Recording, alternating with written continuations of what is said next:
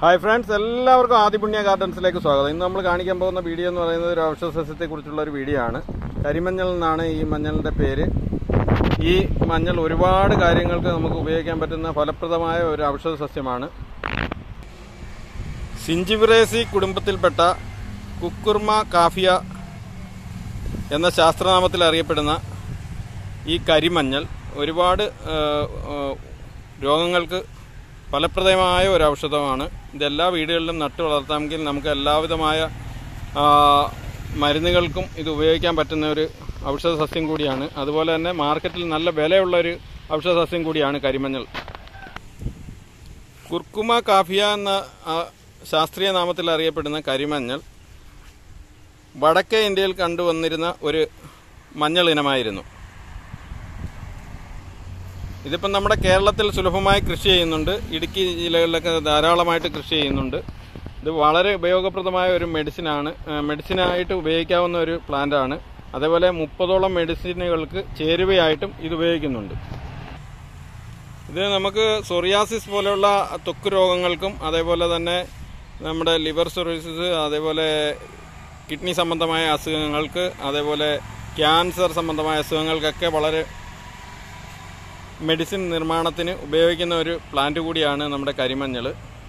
ഇത് നമ്മുടെ സാധാരണ നമ്മൾ മഞ്ഞൾ നടുന്നത് പോലെ തന്നെ ഇടവിളയായി കൃഷി ചെയ്യാവുന്ന ഒരു ഇനം മഞ്ഞൾ ആണ് കരിമഞ്ഞൾ. അതേപോലെ തന്നെ നമ്മൾ നടുന്ന സമയത്ത് നല്ലപോലെ മണ്ണ് കിളച്ച് പണകോരി പണകോരി ഇത് കിളിച്ചു വരുന്ന സമയമാകുമ്പോഴത്തേക്ക് ചവറിട്ട് പുത പുതയിട്ടൊക്കെ വളർത്തുവാണെങ്കിൽ ധാരാളം വിത്തുകളും ഒരുപാട് നമുക്ക് അതിൽ നിന്ന്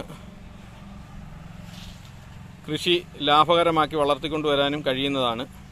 സാധാരണ നമ്മൾ മഞ്ഞൾ കൃഷി ചെയ്യുന്ന അതേ രീതിയിൽ തന്നെ നമുക്ക് കൃഷി ചെയ്ത് വളർത്തിക്കൊണ്ടുവരാൻ പറ്റുന്ന ഒരു ഇനം മഞ്ഞൾ തന്നെയാണ് കരിമഞ്ഞൾ. അതുപോലെ ഈ ആദിവാസികൾക്കിടയിൽ ഇതിനെക്കുറിച്ച് ഒരു ഇതുണ്ട് പൂജ ചെയ്യുന്നതിനും മറ്റു കാര്യങ്ങൾക്കും ഒക്കെ ആയിട്ട് ഉപയോഗിക്കാറുണ്ട്. ഇതിന്റെ ഇല അമ്പലങ്ങളിൽ പ്രസാദം കൊടുക്കുന്നതിനായിട്ടും ഒക്കെ ഉപയോഗിച്ചിട്ടുണ്ട്. അതേപോലെ തന്നെ കരിമഞ്ഞളിന്റെ ഒരു പീസെങ്കിലും നമ്മുടെ വീട്ടിൽ സൂക്ഷിക്കുകയാണെങ്കിൽ വീട്ടിൽ സാമ്പത്തിക ബുദ്ധിമുട്ടുണ്ടാവില്ല അതേപോലെ ആഹാരത്തിനും അന്നത്തിനും ഒന്നും ബുദ്ധിമുട്ടുണ്ടാവില്ല എന്ന് ഉള്ള ഒരു കാര്യം കൂടി ആദിവാസികൾക്കിടയിൽ പ്രചാര പ്രചാരത്തിലുണ്ട്. ഇത് നമ്മൾ നട്ട് വിളവെടുക്കുന്നതെന്ന് പറയുമ്പോൾ മൂന്ന് വർഷം കൂടിയിരിക്കുന്ന സമയത്ത് വിളവെടുക്കുകയാണെങ്കിൽ നല്ല ആദായം കിട്ടും അതേപോലെ നല്ലപോലെ വിളവ് ലഭിക്കും.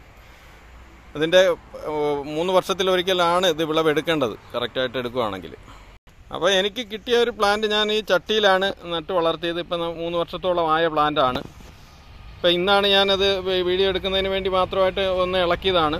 അപ്പം ഇപ്പം ഇത് ഇളക്കേണ്ട പരുവമായിട്ടില്ല എന്റെ തടയൊക്കെ പട്ട് വരുന്ന ആ ഒരു സമയത്താണ് നമ്മളിത് യഥാർത്ഥത്തിൽ ഇതിന്റെ വിളവെടുക്കേണ്ടത് ഇപ്പം വിളവെടുക്കേണ്ട സമയമല്ല. അതുകൊണ്ട് തന്നെ അതിന്റെ ഇലയെല്ലാം പച്ചയായിട്ട് തന്നെ നിൽക്കുന്ന സമയമാണ്. നമ്മളിന്റെ ഇലയൊക്കെ ഉണങ്ങി പട്ട് പോകുന്ന ഒരു സമയത്താണ് നമ്മൾ വിളവെടുക്കേണ്ടത്.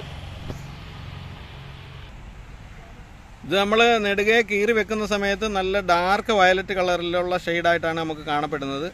ഈ കരിമഞ്ഞൾ ഒരു ഇരുപത്തഞ്ചോളം വെറൈറ്റികൾ ഉണ്ടെന്നാണ് അറിയപ്പെടുന്നത്.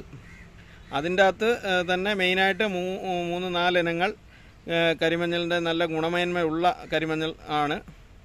അതിലെ ഒരു വെറൈറ്റി തന്നെയാണ് നമ്മുടെ ഈ കരിമഞ്ഞൾ. മറ്റു മഞ്ഞളുകളെ അപേക്ഷിച്ച് നമുക്ക് ബാക്കിയുള്ള മഞ്ഞളുകളെ അപേക്ഷിച്ച് കൂടുതൽ മാർക്കറ്റ് വാല്യൂ ഉള്ളതും നമുക്ക് ലാഭകരമായി കൃഷി ചെയ്യാൻ പറ്റുന്നതുമായിട്ടുള്ള ഒരു വെറൈറ്റിയാണ് കരിമഞ്ഞൾ അപ്പം എല്ലാവർക്കും കൃഷി ചെയ്താൽ നല്ല ആദായം ഉണ്ടാക്കാൻ കഴിയുന്ന ഒരു ഇനം കൂടിയാണ് ഇത്. അപ്പോൾ ഇന്നത്തെ വീഡിയോ എല്ലാവർക്കും ഇഷ്ടപ്പെട്ടെന്ന് കരുതുന്നു. വീണ്ടും പുതിയ പുതിയ വീഡിയോകളുമായി ഞാൻ എത്തുന്നതാണ്.